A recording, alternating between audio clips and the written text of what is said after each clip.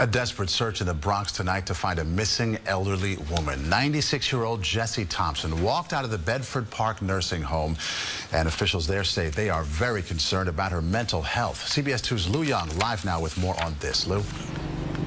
And her physical well-being, Maurice. Uh, the woman has been watching the world change around her for the best part of 100 years. We know that she walked out of that nursing home about 35 hours ago and then vanished, and tonight is the subject of an intensifying search.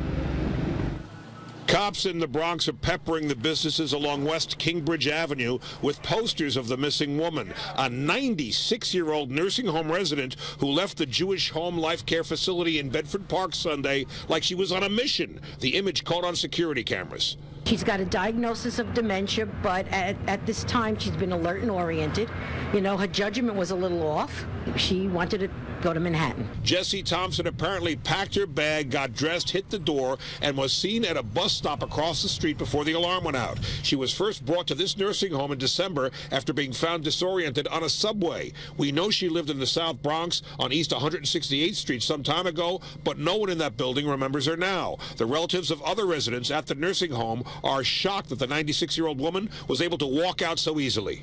They're supposed to have alarms on the people that wander, that have those types of problems. We just want everybody to see her picture and keep an eye out for her. And if you do see her, to please call the police. We're worried about her.